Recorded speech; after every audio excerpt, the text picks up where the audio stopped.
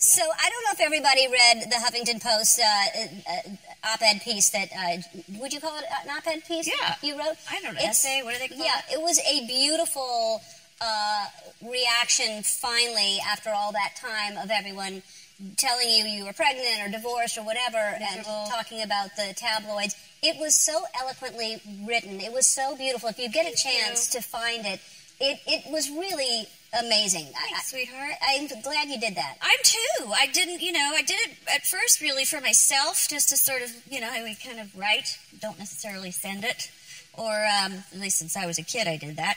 And uh, I, yeah, I kind of hit a wall. I was pretty raw at the time.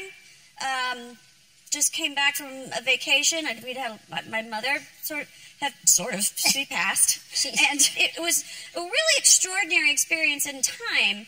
And so I was really thrown by all of because we landed we came back from pretty much being nowhere. We didn't know i mean we knew where we were but it was empty.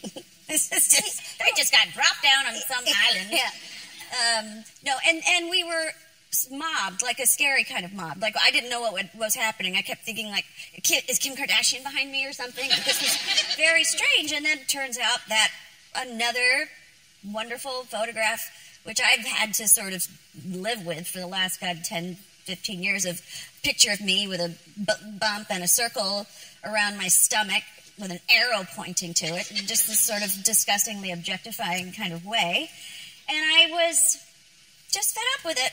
And I think these these tabloids, all of us, need uh, to take responsibility on, on what we ingest into our brains. Because just because we're women, we have a uterus, we have a vagina, we have ovaries, we need to, like, get to work, lady, as opposed to, hello, freedom medal. We, have, we as women do a lot of incredible things in this world other than just procreate. And not that that is not.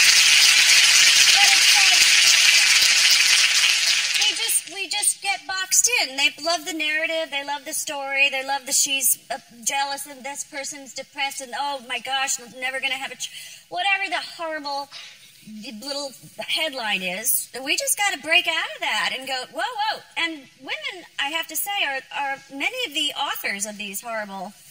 Uh, articles that are written in these, these BS tabloids. So we have to stop listening to them and we have to stop buying them because we have to support each other, especially at this time, to love each other, to support, and to be proud of women and of whatever your choice is in life. It's up to us what makes us happy and fulfilled.